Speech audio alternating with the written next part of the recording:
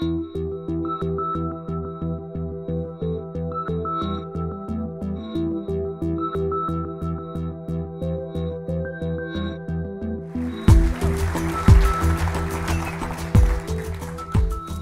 listen to girls for a living. I listen to their thoughts and feelings, the things that they love about their lives, the things they wish they could change, um, the things that make them angry, the things that they feel are in, unjust. Inviting girls to be experts on their own experience is actually a relatively new activity. When my colleagues and I um, started our research in the 1980s, um, taking girls seriously was a bit actually of a radical act. Um, but we listened to girls and we heard a disturbing developmental pattern. We heard um, lively and uh, outspoken and embodied eight, nine, and 10 year old girls come up against the pressure at early adolescence to be a certain kind of girl. A girl who is less likely to interrupt the social order, the surface flow of events with her questions and her comments. A girl who was, felt the pressure to adopt a public story of girlhood that ironically would ensure that her voice was not heard or taken seriously. So, in the early 1990s, we got kind of excited when the Riot Grrrls hit the scene. Um, this was a movement of young women, girls and young women, under the slogan Revolution Girl Style Now, who were redefining what it meant to be a girl um, and reclaiming girl as a power word. Um, unfortunately, um, um, uh, very quickly, the media uh, picked up on the synergy of this and, in fact, um, started to co opt girl power as a kind of personal style and a Spice Girls attitude. So, so that girl with an angry three R's transmogrified um, almost overnight, it seemed, into a um, girly girl with a playful wink. So we went through the 90s, turned the century with Sex in the City, um, caught steam with Gossip Girls and reality shows and Bratz dolls looking to wear something strappy. And uh, here we are. Um, so, um, when you look at uh, a character like Katniss Everdeen in the Hunger Games, her rebellion now it can be bought um, as a, a, rebel. So sort of her rebellion is now sort of a rebel moisturizer that girls can girls can buy to express their inner warrior. Um, and they can buy um, lipstick that looks like hers or um, China's glazed nail polish. So, because, you know, a girl's going to want to look good when she um, fights her oppressive government. So, girls are invited in ad after ad to choose um, stupid over smart. Um, to choose sexy over strong, to choose uh, thinness over health, to see kind of sexual um, objectification and self objectification as sort of a freedom and um, something that's liberatory. Images are photoshopped to the point of absurdity. And virtually every little doll that girls play with has been remade. Um, whether it's strawberry shortcake, whether it's My Little Pony, imagine how you do that, um, into kind of um, thin, you know, sort of thin down kind of fashionistas. Um, little girls' natural plumpness, you know, becomes a sign of their personal failure. Nobody but nobody escapes. Um, so this kind of crazy culture starts to look like um, what Betty Friedan, um, you know, kind of a hot version of what Betty Friedan once called um, the problem that has no name. Um, so, like housewives in the 1950s and 60s, girls today are beginning to ask, you know, is, is this all? Um, and of course, it's not all. But the kinds of messages that girls are getting do nothing to interrupt um, uh, or um, challenge the inequities or differences that make a difference in their lives. In fact, they exacerbate them. So even race is a commodity. Um, magazines like Elle uh, lighten the skin of models and actresses of color, um, while um, companies and corporations like Unilever sell um, self esteem and body diversity in the US with Dove products, while they're selling um, Vaseline skin lightening cream to women in India. Um, and uh, as, as in our country, where you know there's a big a gap between rich and poor that's growing, little girls are told that their worth depends on the brands they can purchase. Um, starting with um, Aldo shoes and mud jeans in their doll sets. So, how do we empower girls when girl power has been so thoroughly co opted by the media? At Hardy Girls Healthy Women, my um, uh, nonprofit um, in Waterville, we have a recipe for moving girls from this kind of image of a girl empowered to a girl who has real power. And it goes something like this Step one bring a collection, a diverse collection of girls together. Um, media will tell us that they will fight, there'll be cat fights, that they will backstab one another, that they'll devolve into drama. But in reality, they work together. They find common goals. They do amazing things.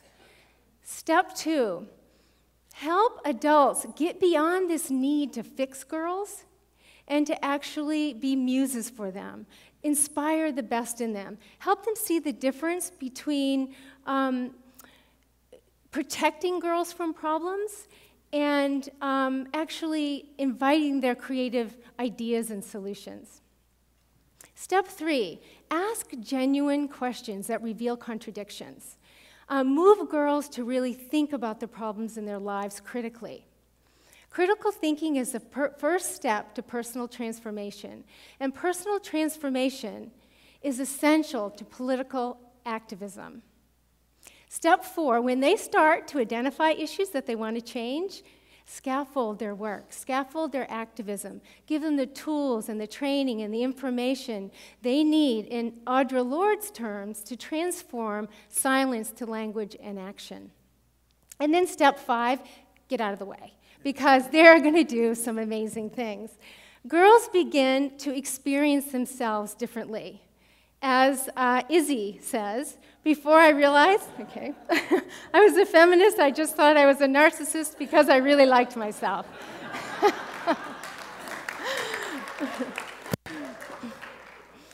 Girls begin to critique the crazy culture they're in.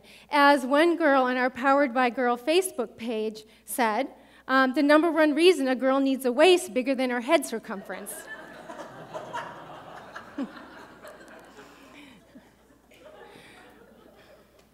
Girls begin to use their knowledge um, and their experience to, to create new things. So, Aaliyah, um, an eating disorder survivor, um, sitting in her uh, science lab, watching her professor walk back and forth in front of a projector screen, came up with an idea to um, really uh, listen to other survivors and to educate people. She invited stories of survivors um, anonymously to, you know, sort of contribute anonymously, and then invited her friends and allies to come to a photo shoot and stand um, in white t shirts and have those stories projected onto them.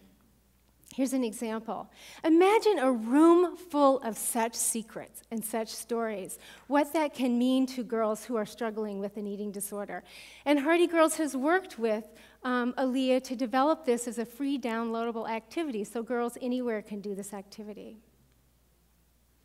And girls become innovators. At, at Hardy Girls, our Girls Advisory Board really wanted to um, find a way to uh, talk with other girls and critique media messages online. So they worked together over a series of months and came up with the idea of Powered by Girl, which is an online um, media activism site with a teen blog. Um, so lots of girls around the country are blogging, and a really creative application that allows girls to satirize and spoof sexist media. So in, in this Candie's ad, uh, one girl has spoofed this, or PBG'd it as we call it. Um, I am more than eye candy. Why can't candy treat, treat me this way? And in this Zappos ad on the left is the original ad, More Than Shoes, and a girl has spoofed it or PBG'd it as uh, More Than Degrading. So, girls, once they really learn this critical, critical vocabulary and get involved, they want to do something bigger than themselves. They want to do social change work. Change work. So, my friend Deborah Tolman and I started a movement called SPARK, which stands for Sexualization, Protest, Action, Resistance, Knowledge which is an online and on the ground um, activism site for girls to challenge sexualization in media. And we brought together girls from all around the country to blog and do actions. So when Lego, um, this is an original 1980s um, ad for Lego, went from this to this um, recently. Um, some of the girls had kind of a problem with that. Um, and they put up a petition. Stephanie and Bailey put a petition up on change.org. They got over 50,000 signatures and a meeting with Lego. And you can bet they were there representing. and just up the road in Waterville, um, Julia, who's a veteran um, Spark blogger at Just 14, um, wrote her own petition um, to the magazine that she loved the most, 17. She asked 17 to, um, to just have one non Photoshop spread in each issue.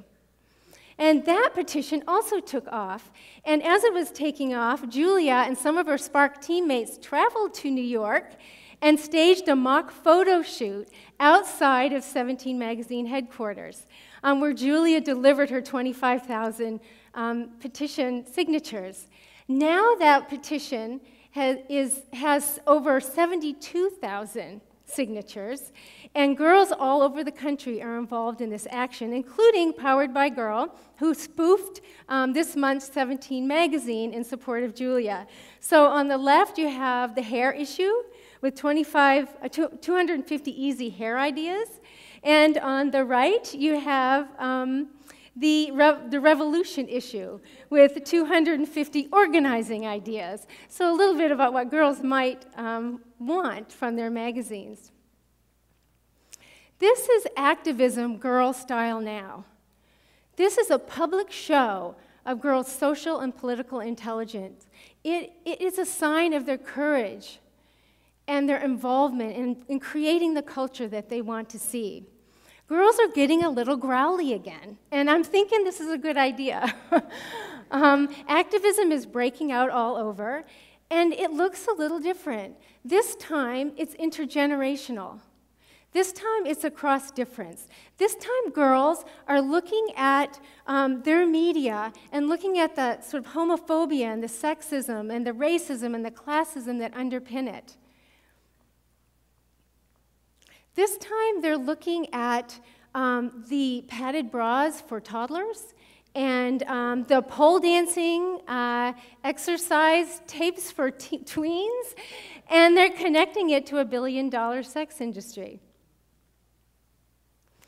So I invite you the next time you're in the presence of a girl to forego the uh, compliments about her appearance and to really engage her in a conversation. Ask her what she thinks. Ask her um, what she cares about. And then connect her to other girls. Connect her to organizations and movements that can amplify her voice. Girls now are beginning to take back the culture. They're beginning to imagine the world as if it could be otherwise. Please join them.